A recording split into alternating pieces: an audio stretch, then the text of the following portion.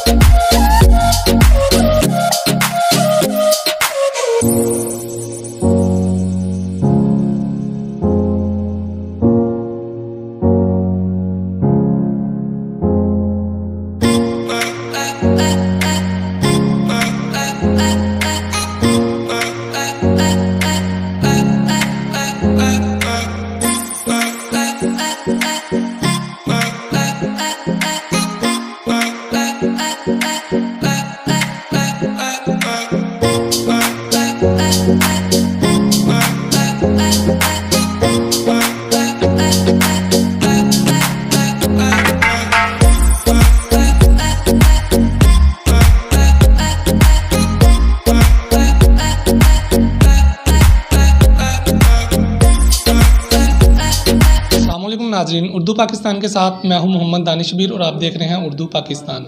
नाजरीन, उर्दू पाकिस्तान की हमेशा से यही कोशिश रही है कि टैलेंट और टैलेंट से भरपूर चेहरों को आपके सामने लाया जाए।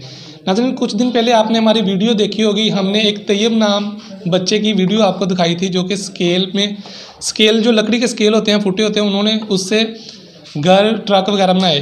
तो इसी तरह का ये बच्चा हमारे साथ मौजूद है, जिन्होंने स्केल से ट्राली, ट्रैक्टर और जो बड़ा ट्राला और जो छोटा ट्राला इन्होंने बनाया हुआ है।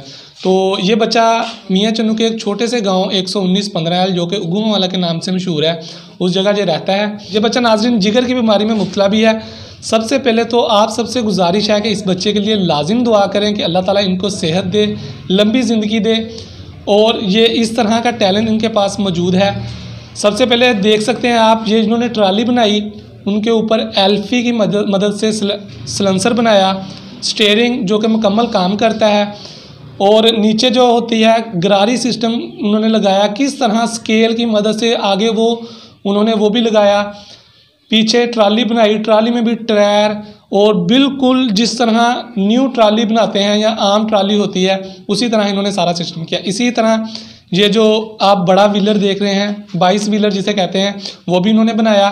साइड से रस्सियाँ बांधने के लिए, यानी कह लें कि जैनमन चीज़ में जो जो चीज़ें होती हैं, सेम उसी तरह बनाई।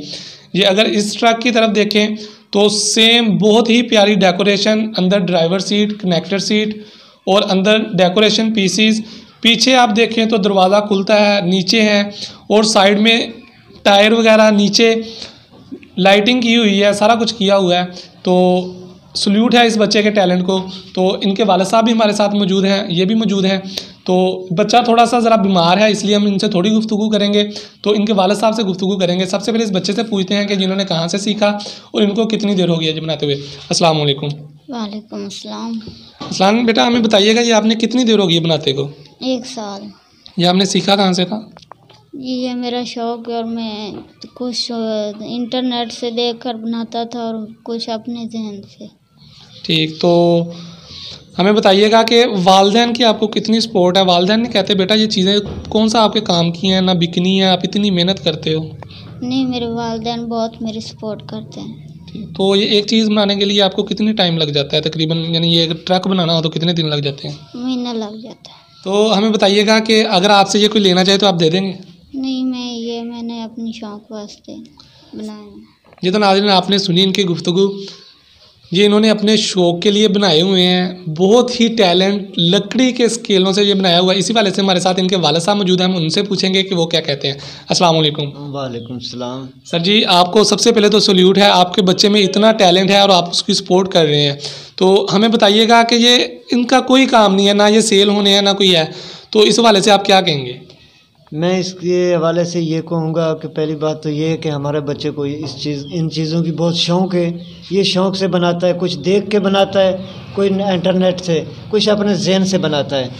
तो मैं और आप लोगों से भी ये दुआ करवाना चाहता हूँ और आप दुआ करें कि इसकी सेहत का मसला है, ये इसकी सेहत ठीक हो जाए और हुकूमत वक्त कोई इसको जो है ऐसे इलाज माजरे की सपोर्ट हासिल सपोर्ट दे दे तो इसकी सेहत जो है वो ठीक हो जाए।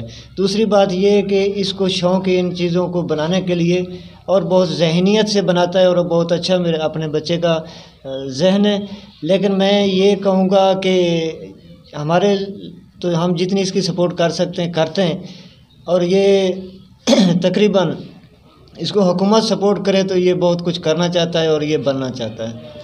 हुकूमत सपोर्ट करे तो जो अपने वतन के लिए और भी कुछ बना सकते हैं। बहुत कुछ बना सकता है। इतना जहन है जो चीज़ ये देख लेता है खुद बना लेता है अपने जहन से बना लेता है। जी तो नाजरीन आपने इनकी गुफ्तु सुनी इनके वाला साहब की गुफ्तु सुनी। अगर हुकूमत हमारे मौजूदा है काम इनकी सपोर्ट करें तो ये पाकिस्तान का नाम रोशन करेंगे। पाकिस्तान के लिए कुछ ना कुछ ज़रूर करेंगे। इतना टैलेंट अगर इनके अंदर मौजूद है ये आप देख सकते हैं कि इन्होंने किस किस तरह की चीज़ें बनाई। एक स्केल से आम स्केल सीधा सा स्केल होता है। तो उससे इन्होंने क्या क्या चीज़ें बनाई हैं। उम्मीद करते हैं कि आज का प्रोग्राम आपको बहुत पसंद आया होगा। इसी के साथ अपने होस्ट दानिशबीर को इजाज़त दीजिए और देखते रहिए उर्दू पाकिस्तान। अल्लाह हाफिज़।